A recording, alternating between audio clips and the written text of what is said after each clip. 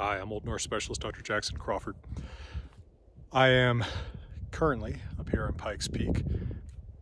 Today, the most beautiful place in the world. Perhaps you can guess at the sappy metric by which I determine that every day. But uh, it is an objective metric, I believe. Um, and I thought I would offer a few more remarks on a subject I started talking about in late 2022, which is the trilogy called The Hammer and the Cross by Harry Harrison and or Tom Shippey going under the pseudonym John Holm.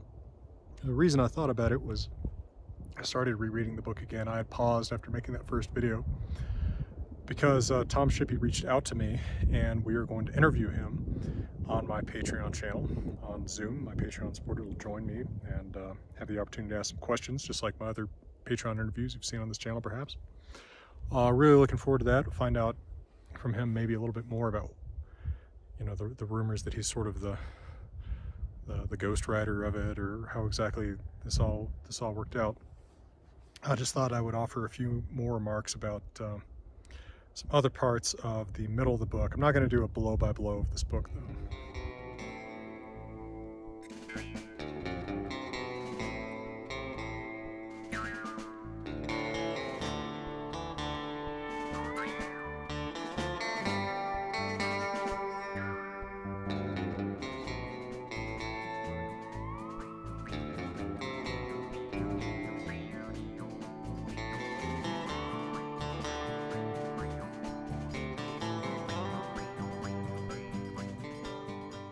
Start this video by thanking my Patreon supporters who help make it possible for me to make a living teaching subjects of my expertise in the world's most beautiful places.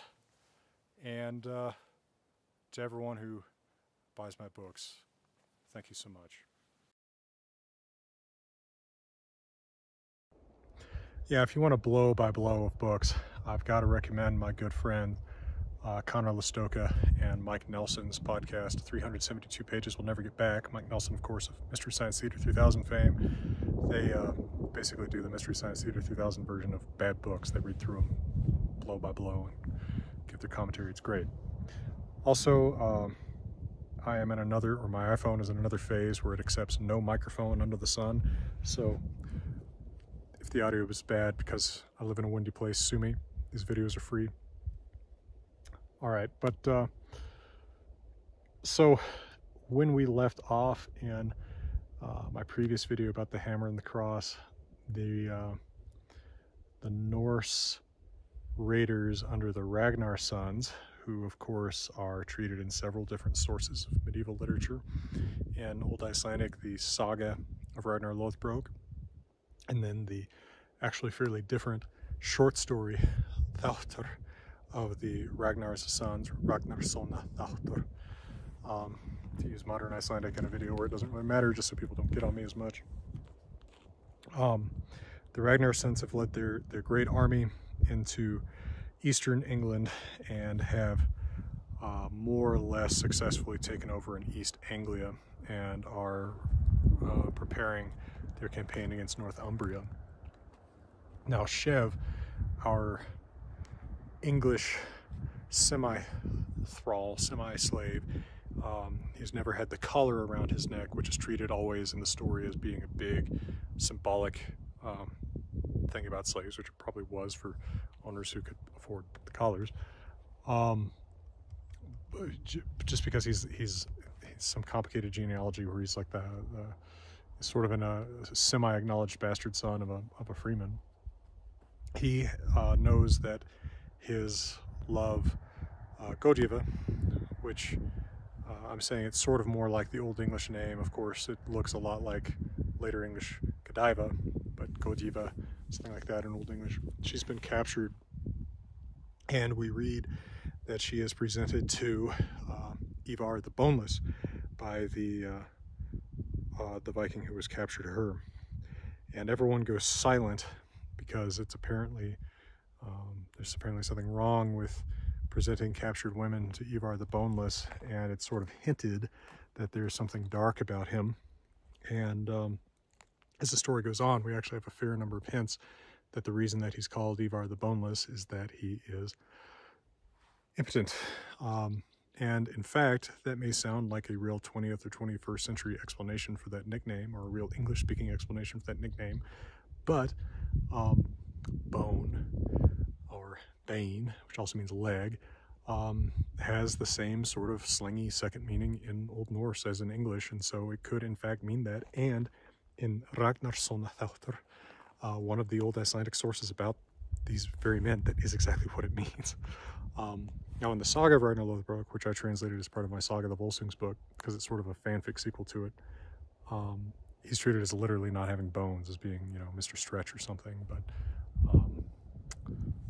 more prosaic explanation in Ragnarssonarþáttur uh, is surprising, but it is what's what's used here. Um, long story short, without details that I have much to comment about, Shef manages to uh, get her out of the Viking camp when the English counterstrike against the Vikings. He sort of can't decide what side he's on because he's been adopted at this point by Thorvin, which means Thor's friend. Uh, not a name that's actually very common, but very appropriate to this character because he is a dedicated priest of the Way, which I suppose in Old Norse be Vegrin. Um, this is uh, presented as kind of a like reform Ásatrú, right, in, in the Viking Age. These are guys who have a more structured view of uh, the gods. They're presented as being the uh, the composers and the keepers of the Eddic poems, whereas the Skaldic poetic tradition, which of course praises kings and, and warriors and, and whatever, is written as being kind of more the the uh, more uh, just use a simple term, you know, barbarian-like uh, Vikings uh, art form, which is interesting because Skaldic poetry is actually more complicated, but you know, it's a fun little little spin on the story. So when you see an Eddic poem like Völuspá or Hávamál quoted in The Hammer and the Cross, is typically one of the Waymen quoting it. And you see a Skaldic poem quoted, it's typically one of the, the other guys. But Thorvin thinks that Shef has something special about him because his name happens to be the English form of um, the name that you see, well, I mean, you see it actually in English in, in Beowulf, Scyld Scefing, the founder of the uh, Danish royal dynasty there. Um, although it's been given to him as a dog's name, as an insult, uh, there's this notion that things that are sort of accidentally done in accordance with fate have a more fateful echo, right? That's that's more in accord with with uh, the dictates of wyrd or Urður from an Old Norse perspective. Um, so there's a prophecy there's one who will come from the north, and he comes from Norfolk and says he's from the north when he first meets them uh, with a king's name or something like that. So he thinks maybe Shef has something special about him, and indeed, Shef does. I'll give you a quick word from my friends and partners at Grimfrost to come back and talk a little bit more about some of the other stuff in the middle of this book.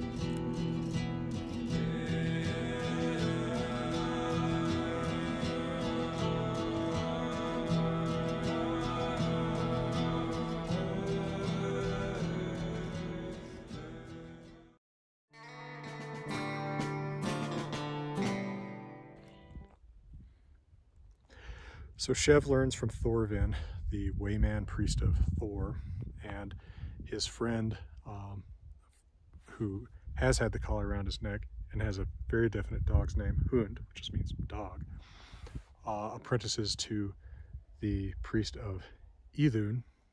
Whether there was actually a priesthood of Idun is hard to say, but she's presented as a healing figure here, which is kind of a fun notion, right? She's the one who keeps the apples that keep the gods young. So if there's a healing figure in Norse myth, I suppose it could be her. Um, two of them apprentice these different guys in the Viking camp, and they uh, proceed, as I said, during the, the battle where the English come and counterstrike against the Vikings. They get Godiva out, but Godiva has misinterpreted Ivar's reluctance to touch her as being, you know, gentlemanliness, when in fact he's waiting for the his violent psychopathic tendencies to come on that he has. But anyway, she comes between the sword of the English king and uh, and Ivar and spares him. None of this is really part of the story in uh, any of the sagas or in Saxo's version of this in uh, his uh, Latin language work, The History of the Danes, Gesta Danorum, but it's it's a fun spin on the history or the, the legend there. Now Shef is punished for taking Gojiva out of the camp and uh, he's also assisted some of the English slaves that had been captured in getting out, although I don't think that the um, most of the Norsemen know that, but they do know that he was there with Godiva.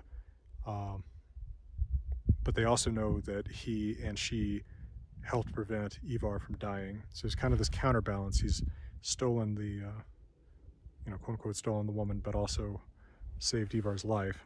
So they have a, a thing, right, a council meeting of the whole army where we see uh, how just how well Tom Shippey, and I'm, I'm going to credit Tom Shippey for this, I think it, it is a credit to him, how well he understands and presents this culture and how important it is, the sort of negotiations around drengskaper, right, the notions of manliness, right, and part of the notion of manliness is is that that bravado, that show, right, and that willingness to seem fair in one's dealings with others.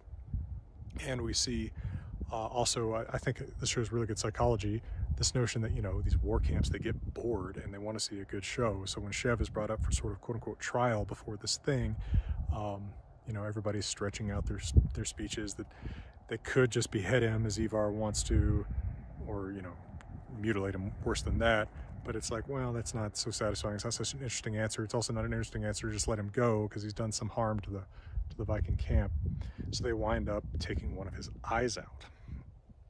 A horrible punishment, but of course, less than death, um, as Havamal itself mentions, right? Um, better blind than a corpse. Um, this, of course, makes him more like Odin, and so some of the waymen begin to suspect that he is um, somehow connected to Odin, and he has dreams in which he encounters Odin but he suspects that he is not in fact being favored by Odin, but being favored by someone else. And spoiler alert, I mean, if you read this book, you'll, you'll know what I'm talking about. The fact that the book is broken up into three sections, Thrall, Carl, Jarl, um, slave or peasant, freeman, nobleman, shows you the progression that he's going to take and also hints at who his actual uh, divine patron is. Now, Shef joins the Viking army um, alongside his friend from Hålogaland, which if you've read the sagas of um, the Hrafnistafolk, so that includes Odd Saga, uh, really wonderfully weird mythical heroic sagas. That's a uh, location in northern Norway that, that those heroes are from, and uh, which we'll return to in the second book in this trilogy with uh, the hero from that land, uh, Viga Brandur, uh, Killer Brand who um, is just one of the best sort of scripted characters in this, right? He's always talking about Drengskaper, um, always talking about, you know, how to put on the right show, um, and he's also obsessed with, um, and they do use the Norse word for this, fje, money, property, livestock, right? All those things together. It's what he's out there for, not for this, you know, not, not, not to do harm, but to get rich and go back home rich. And because when Shef is imprisoned uh, after his, um, his his breakout into I mean in prison, he's he's kept under guard alongside the English king who has been captured. He hears from the English king the location of the uh, East Anglian king's great hoard in a burial mound from uh, pagan times when the English were pagan and I'll return to um, some of the fun details that are in that in the next video in this Hammer of the Cross series, which will be after we've had a great chance to talk to Tom Shippey himself. So if you're interested in that, you want to support the channel, it's much appreciated. Come on by patreon.com slash Norse by Southwest, Norse by SW. Sign up and come to this live interview with Tom Shippey and you might have a chance to ask him your question about Tolkien studies, medieval studies, his new Beowulf book, Hammer of the Cross, who knows. For now, from currently the most beautiful place in the world, beautiful Colorado. I'm wishing you all the very best.